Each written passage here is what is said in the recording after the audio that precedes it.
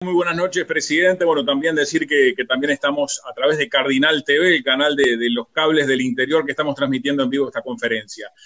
Eh, consulta, bueno, ese grupo de asesores científicos, ¿cómo eh, recoge los datos desde el interior del país?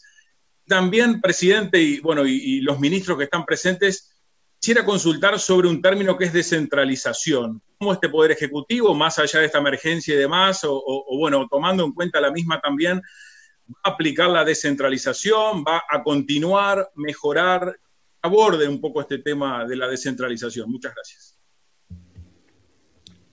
Gracias a ti por la, por la pregunta. El saludo a, toda la gente de San José y a, través de Cardinal a todo el país. Obviamente hay algunas decisiones eh, sobre lugares puntuales del país.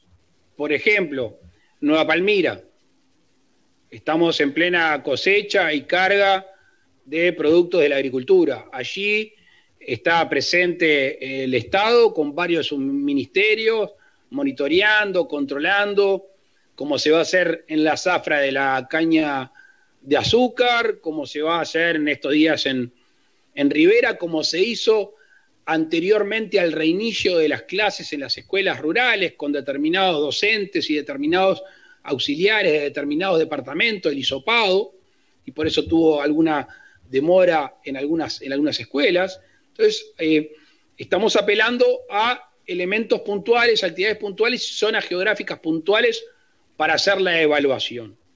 Lo que sí ha habido en estos tiempos, a través del Ministerio de Salud Pública y a través de ACE, una rápida recorrida por todos los departamentos del país y por los hospitales, para ver la situación de la capacidad, sobre todo en los este, en, tratados, tratamiento intensivo.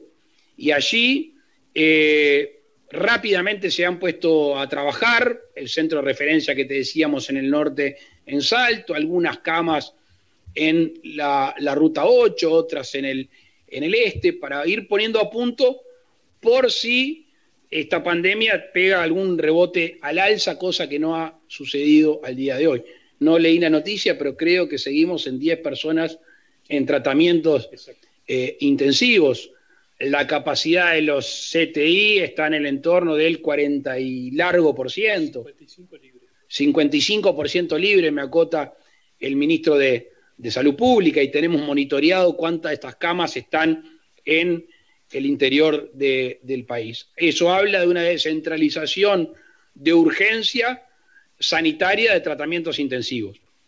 Obviamente cuando nosotros nos sentamos a hablar de, desarrollo, cuando, nos empezamos, cuando empezamos a hablar de, planeamiento y de presupuesto, tenemos una presencia de las fortalezas, debilidades, equilibrios y desequilibrios económicos y geográficos. Y allí va a haber un gobierno que por fuera la pandemia tenga un ojo puesto este, bien cerca de las fortalezas y debilidades que hacíamos lugar, que hacíamos referencia.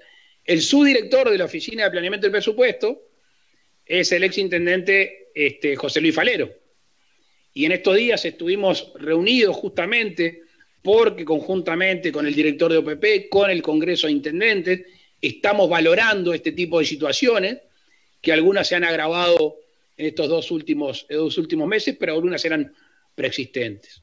Entonces, la erradicación de, de inversiones, el apoyo en infraestructura vial, la conectividad que tantas veces es reclamada aún en lugares cerca del país, va a tener una especial atención para poder descentralizar. La descentralización está basada primero en el ámbito económico, al mismo tiempo en el ámbito educativo de nuestros hijos y de nuestros nietos.